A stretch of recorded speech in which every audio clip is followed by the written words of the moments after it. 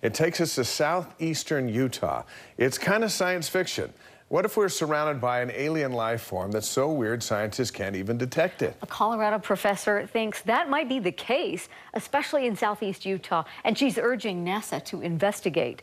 Science and nature specialist John Hollenhorst explores very strange but intriguing speculation in an exclusive story. It's there all over the place in almost any desert with deep canyons and soaring cliffs. So big and bold, it's easy to see, and yet so unobtrusive, it's often overlooked in the awesome scenery. It's called desert varnish, huge dark blotches, a film that covers sandstone cliffs, usually black, sometimes red, often very shiny, reflecting the light of the desert sun.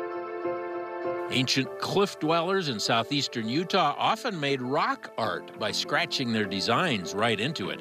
So, what is desert varnish, and how did it get there on desert rocks all around the earth? Actually, looking at it from here, had thought it was probably a form of lichen. That seems like a decent guess from a tourist. Here's another. The rock and the layer, it's exposed with the oxygen and then maybe, maybe, maybe might have like oxidation, so it changed the color over the years. That's what I think about it.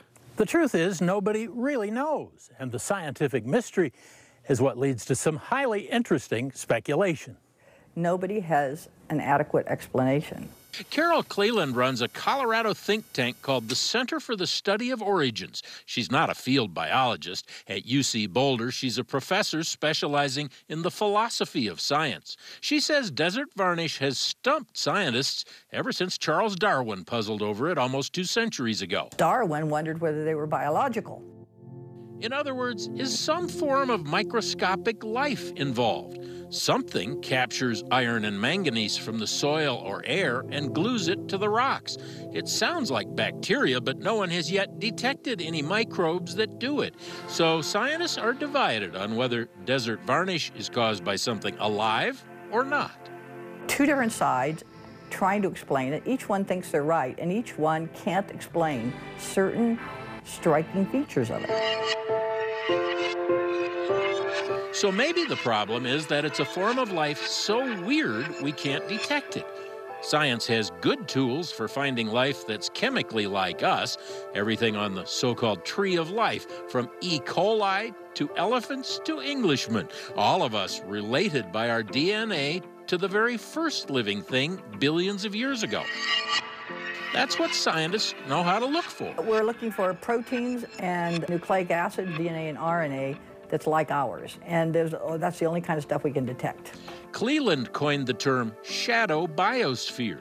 Perhaps there's an entire menagerie of microbes we can't detect because they're chemically different from us. If they exist, perhaps they came from outer space, or more likely, perhaps life started on Earth more than once. One time creating us and all life we know, another time creating life that's very different. If life originated in Earth, I believe it's extremely likely that there were multiple origins. This fall, Cleland will publish a book suggesting desert varnish might be a candidate for a shadow biosphere. She's urging scientists to study it and develop techniques that might someday discover a completely different form of life. It would revolutionize biology because biology would now have a second example of life. New techniques for finding life might help answer one of humanity's profound questions. Those techniques then could be used to look for life on Mars. Emails from three NASA scientists show they're aware of Cleland's theory and are interested in it, but they're noncommittal and skeptical. Desert varnish is probably a combination of microbial activity by known organisms and weathering under desert conditions, wrote one of them, but they do suggest it's worth further study, and that might please a tourist or two. No, I don't think it's wacky at all.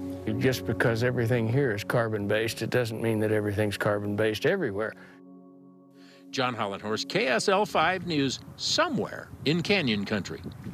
John, thank you. Professor Cleland's book, due out in October, is called The Quest for Universal Theory of Life, Searching for Life as We Don't Know It.